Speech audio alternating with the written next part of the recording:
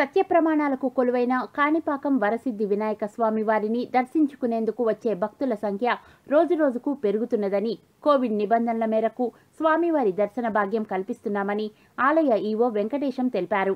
Corona కారణంగా స్వామివారి దర్శన వేళలు మార్పు చేసినట్లు ఉదయం ఏడు గంటల నుండి పది గంటల వరకు మాత్రమే భక్తులకు దర్శన భాగ్యం కల్పిస్తున్నామని తెలిపారు.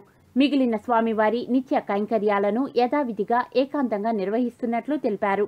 ప్రత్యక్ష సేవలు పాల్గొనలేని భక్తులు పరోక్షంగా సేవల్లో పాల్గొనవచ్చని స్వామివారి కళ్యాణం పాలాభిషేకం గణపతి హోమం సేవలకు ఆన్లైన్ ద్వారా నగదు చెల్లించినట్లయితే వారి గోత్రనామాలతో ఆర్జిత సేవలను నిర్వహించి సుఖ సంతోషాలతో ఉండాలని స్వామివారి సన్నిధిలో పూజలు చేయడం జరుగుతుందని పేర్కొన్నారు.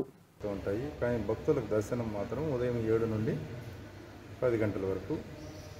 ఇక భక్తులు స్వయంగా స్వామివారిని దర్శించి ఆర్జిత సేవలు చేసుకున్నటువంటి వారికి పరోక్ష సేవలు ప్రవేశపెట్టాము. ఈ పరోక్ష సేవలు ముఖ్యంగా గణపతి అభిషేకము కళ్యాణోత్సవము గణపతి హోమము పాలాభిషేకము.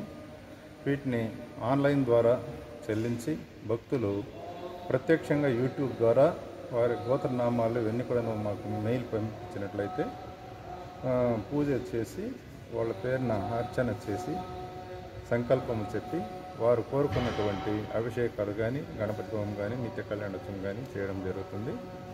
కాబట్టి ఈ అవకాశాన్ని భక్తులందరూ కూడాను సద్వినియోగం చేసుకోవాలి. కరోనా తర్వాత భక్తుల సంఖ్య బాగా దాదాపుగా తగ్గిపోయింది. ఇప్పుడిప్పుడే మళ్ళీ కొంచెం కొంచెంగా ఇంప్రూవ్ అవుతూ ఉంది. భక్తులందరూ కూడాను ఈ అవకాశాన్ని సద్వినియోగం చేసుకోవాలని కోరుతున్నాను గణపతయ్యే నమ. ప్రసిద్ధి వినాయకాయ నమ. భక్త మహాశయులు విజ్ఞప్తి. స్వయంభూ శ్రీ వరసిద్ధి వినాయక స్వామి వారి దేవస్థానం కాణిపాకం.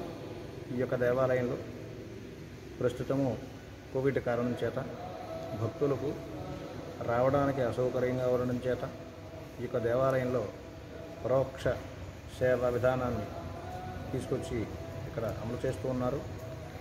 అవకాశం రావడానికి అవకాశం లేనటువంటి వారు ఈ పరోక్ష సేవ ద్వారా పాలాభిషేకము ప్రత్యేక అభిషేకము గణపతి హోమము మరియు కళ్యాణోత్సవ సేవా కార్యక్రమాలు తగినటువంటి టిక్కెట్ ధరని ఆన్లైన్ ద్వారా చెల్లించి ఆ యొక్క చెల్లింపును దేవస్థానం వారికి తెలియజేసినట్లయినా వారి యొక్క గోత్రనామముల చేత ఈ యొక్క సేవా కార్యక్రమాలు నిర్వహించబడుతున్నాయి.